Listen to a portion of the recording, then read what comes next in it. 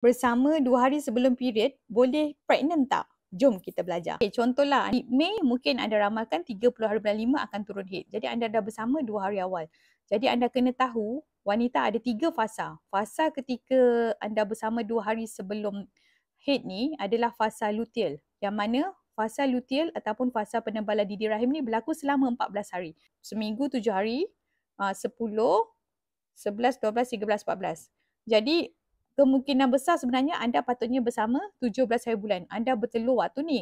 Dan biasanya lepas bertelur, penempelan akan bermula seawal 6 hari selepas anda bertelur. 1, 2, 3, 4, 5, 6. Dan sepatutnya DPO 6 ni, 6 hari selepas anda bertelur, dah tak boleh bersama dengan suami dah. Sebab kalau anda bersama, penempelan tu tak kukuh dan menyebabkan kontraksi rahim boleh berlaku bila anda orgasm.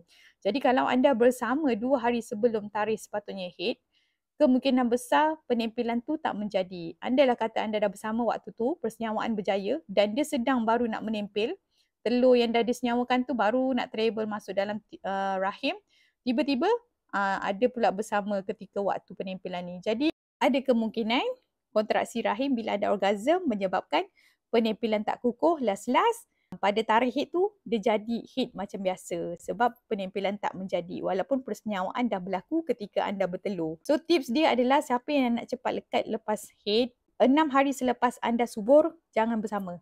Ah, tips dia DPO 6 ke atas sila berehat sebab nak support lagi penempelan awal janin dan kalau dah detect UPT positif selagi belum scan tak tahu kedudukan uri macam mana rendah ke tutup jalan make sure tak bersama lagi dengan pasangan. Nak lebih info jangan lupa follow TikTok saya.